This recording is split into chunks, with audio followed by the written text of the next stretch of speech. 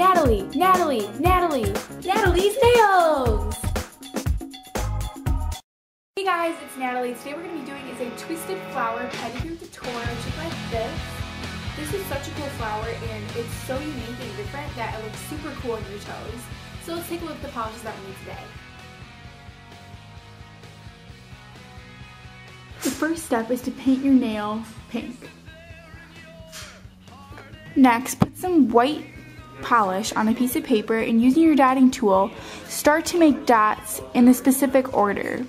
Put one dot in the middle, then start to put five dots around the front of the flower.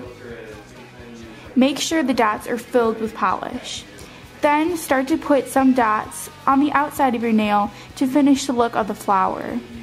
Take your time with this to make sure each of the dot is filled with polish. Next, taking your toothpick, drag all of the polka dots to the center of the flower. Carefully do this with each of the polka dots to make sure each of the polka dots makes it to the middle. This will make a dragging effect and will make your flower dramatic. Okay guys, that's it for today. That was our twisted flower pedicure tutorial just like this.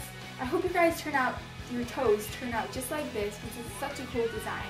So um, I'll see you guys next week. Bye guys!